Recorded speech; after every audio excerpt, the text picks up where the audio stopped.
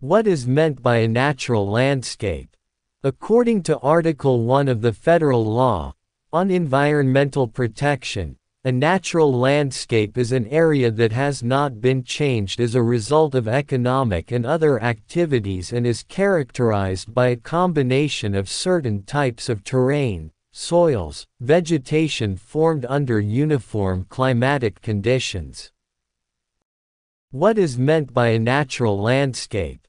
According to Article 1 of the Federal Law on Environmental Protection, a natural landscape is an area that has not been changed as a result of economic and other activities and is characterized by a combination of certain types of terrain, soils, vegetation formed under uniform climatic conditions.